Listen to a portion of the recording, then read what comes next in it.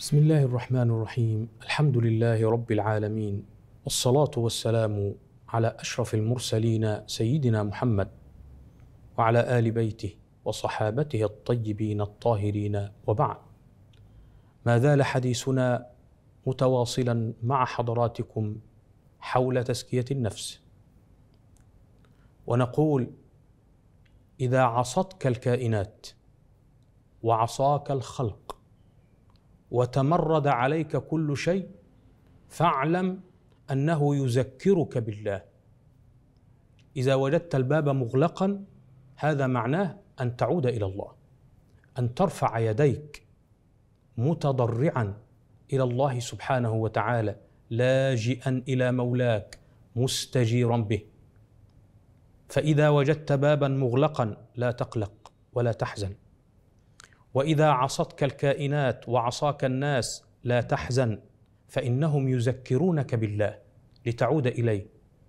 اللهم اهدي فلان اللهم أصلح حالي وحال فلان اللهم افتح لي الأبواب المغلقة. لا تقلق. واعلم أن الغنى الحقيقي هو غنى القلب والنفس.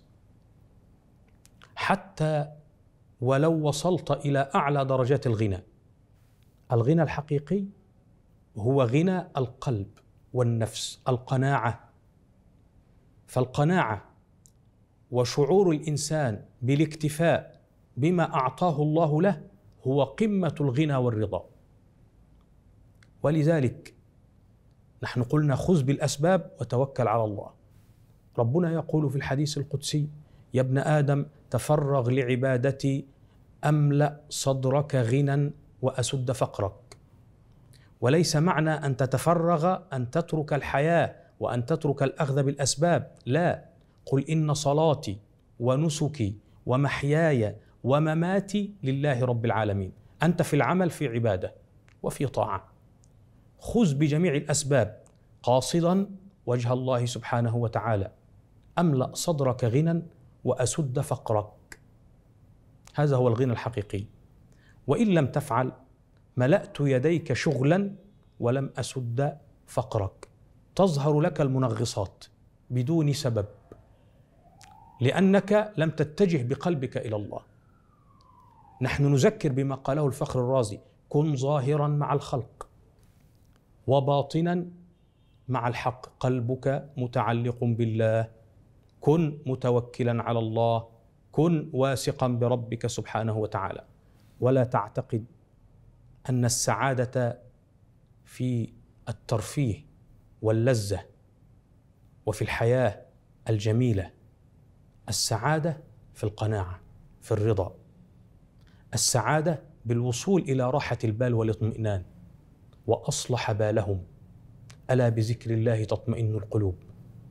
فالسعادة أمر داخلي ينبع من داخلك واللذة أمر خارجي يأتيك من الخارج. اللذة أمر محسوس ملموس لها مدة وتنتهي. أما السعادة أمر معنوي لا تنتهي. من عمل صالحا من ذكر أو أنثى وهو مؤمن فلنحيينه حياة طيبة. ونقول في جانب التزكية إذا كان الإنسان يذكر الله سبحانه وتعالى إلا أن قلبه منشغل بالهموم بالحياة يعني يذكر الله سبحانه وتعالى لكنه لا يستشعر لذة الذكر. هل يتوقف هذا الإنسان عن الذكر؟ لا لا تتوقف. وإن لم تشعر بلذة الذكر لا تتوقف. فكثرة الذكر تحيي القلب. وقد قال الشيخ ابن عطاء الله رضي الله عنه وأرضاه في هذا المعنى لا تترك الذكر لعدم حضورك في الذكر. يعني لعدم حضور القلب. لأن غفلتك عن وجود ذكره أشد من غفلتك في وجود ذكره. يعني إذا ذكرت الله وقلبك غافل هذا أفضل من أن تترك الذكر على الإطلاق. فعسى. تأتي المنة من الله. إذا كنت واقفا بباب الله. إذا كنت صادقا في طلبك. تأتي المعونة من الله. فعسى أن يرفعك من ذكر مع وجود غفلة أي مع وجود غفلة القلب إلى ذكر مع وجود يقظة. هذا الارتقاء منة ومنحة. إذا كنت حريصا على الوقوف بباب الله. إذا كنت صادقا في طلبك وعسى أن يرفعك من ذكر مع وجود يقظة إلى ذكر مع وجود حضور. ارتقاء. وعسى أن يرفعك من ذكر مع وجود حضور إلى ذكر مع وجود غيبة. ألا تشهد في الكون إلا الله ألا يلتفت قلبك إلا إلى الله. اذا إن لم تشعر بلذة العبادة كن حريصا على العبادة. إن لم تشعر بلذة الذكر داوم. لأن حياة القلب بالمداومة على ذكر الله. نسأل الله أن يرفع همتنا وأن يجعلنا من الذاكرين الشاكرين.